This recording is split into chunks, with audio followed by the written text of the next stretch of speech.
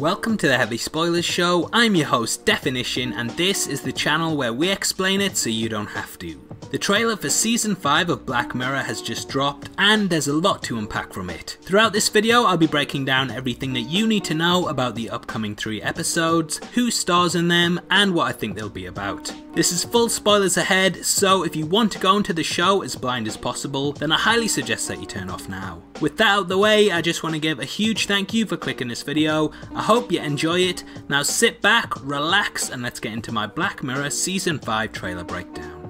Okay, so the first thing you need to know about Season 5 of Black Mirror is that it releases worldwide on Netflix on June 5th. This is a slightly shorter season than the previous lot, with the show only running for 3 episodes in total. The season is clearly technology focused, with smartphones playing a big part, and it's definitely deconstructing society as a whole. The first episode stars Andrew Scott, who seems to be sick of civilization and, after taking a boy hostage, has become a fugitive. Scott's character is fed up of the way that people are constantly on their phones and is doing something dramatic in order to hopefully lift people's heads above their screens, though they actually seem to be more bothered about filming the action in front of them. I think this will be interesting as I'm always annoyed by people I see out and about sitting together at restaurants or something where you can tell they're not really talking to each other and are both just lost in social media. So this is definitely something that I can relate to, just not the whole taking people hostage thing. Yeah, that's bad. Anyway, the second episode stars Anthony Mackie, who gets caught by his wife looking at pictures of girls with his friend on his phone.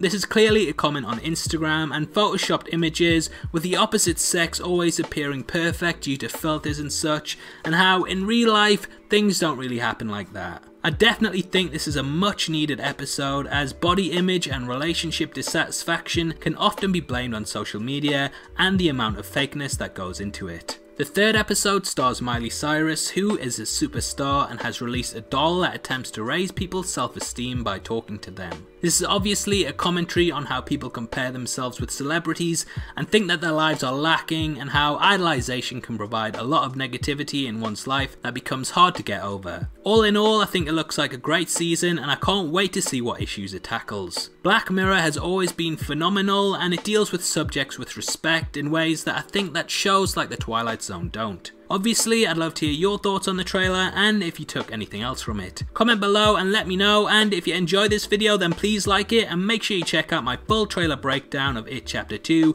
which will be linked at the end. This is a channel for people who are never missing television, so if that's the kind of thing you like, you need to subscribe to Deffinition.